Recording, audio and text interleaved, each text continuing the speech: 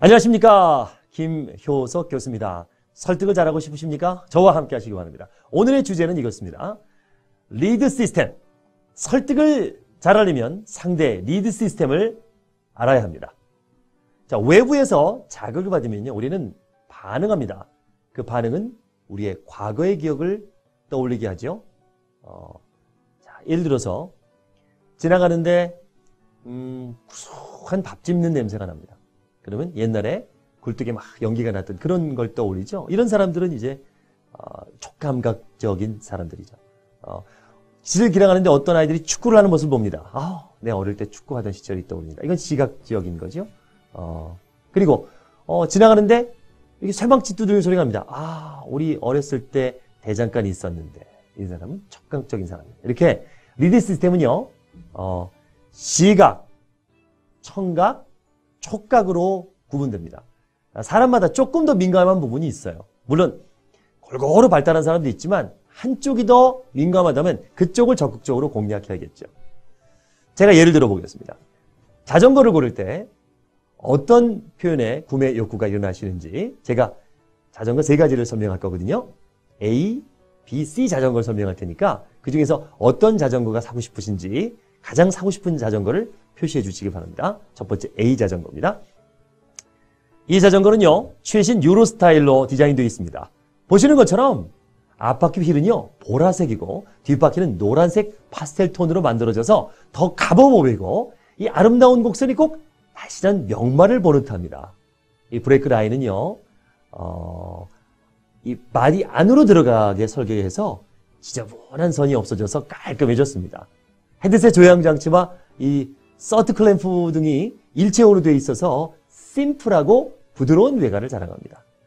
이 자전거는 싱글 기어 제품 중에서도 클래식한 디자인 때문에 이 출퇴근 복장이나 캐주얼 등 어떤 스타일에도 아주 잘 어울리는 아름다운 자전거입니다. 자, 이번에는 B 자전거를 제가 소개하겠습니다. 이 자전거는요, 소음을 들으실 수가 없는 자전거입니다. 느끼실 수가 없어요. 바퀴의 베어링도 그렇고요. 금속제인 대신 보통 이 금속제 체인 대신에 카본 드라이브 벨트 시스템을 사용해서 부드럽고 조용한 riding이 가능합니다. 이미 유럽에서는요 많은 자전거가 벨트 드라이브 시스템을 채택했어요. 그러니까 체인이 아닌 고무 같은 거죠. 그래서 바람 소리와 도로를 밟는 기척만 느낄 정도로 체인 소음이 거의 없어서 도로 주행 시에 체인 소리가 아닌 주변 환경의 소리를 들으면서 riding을 즐길 수 있습니다. 이제 주변의 새소리와 바람 소리만 즐기시기 바랍니다. B 자전거입니다. 이번에는 C 자전거를 소개해 드리도록 하겠습니다. 이 자전거는 가볍지만 상당히 튼튼하게 만들어졌다는 느낌을 받습니다. T6 열처리 가공된 알루미늄 프레임은요, 내경을 깎아내고 용접부는 두껍게 유지하는 3중으로 가공하는 정교한 기술을 사용해서 경량화와 내구성을 갖췄습니다. 그래서 핸들을 잡으면 가벼운 차체이면서도 상당히 단단하고 중후한 느낌이 듭니다. 이 페달을 밟을 때는요, 그 느낌이 땅을 딛고 하늘로 점프하는 것 같은 힘찬 도약을 받습니다. 밟으면 밟은 대로 쭉쭉 달려나가는 힘을 받으실 겁니다. 어떠십니까? C 자전거입니다. 자, A 자전거, B 자전거, C 자전거. 어떤 자전거에 귀가 솔깃하셨고 조금 더 사고 싶은 생각이 드셨나요?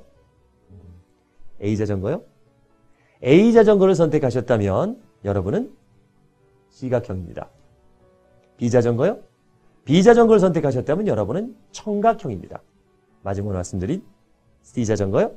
C 자전거를 선택하셨다면 여러분은 촉감각형입니다. 어, 시각형인 분들에게는 좀 시각적인, 이미지적인 이야기를 하면 설득이 더 쉽겠죠? 청각적인 분에게는 이 소리에 대한 이야기, 의성어 이런 것들을 많이 쓰면 더 설득이 잘 되고요. 촉감각형에게는 느끼는 것, 만지고 촉감 이런 부분들을 느끼게 해준다면 더 설득이 잘 될 겁니다. 다음 시간부터는요. 이 시각형, 청각형, 촉감각형을 구분해서 어떻게 알아낼 수 있는지 그 사람들은 어떻게 설득이 되는지 알려드리겠습니다. 고맙습니다.